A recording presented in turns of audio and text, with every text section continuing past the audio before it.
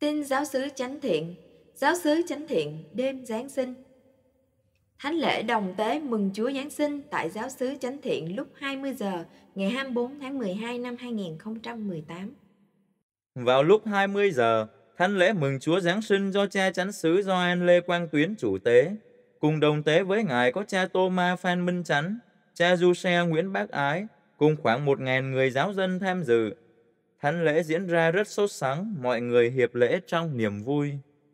Sau thánh lễ, mọi người viếng máng cỏ và ra về trong bình an của Chúa hài đồng.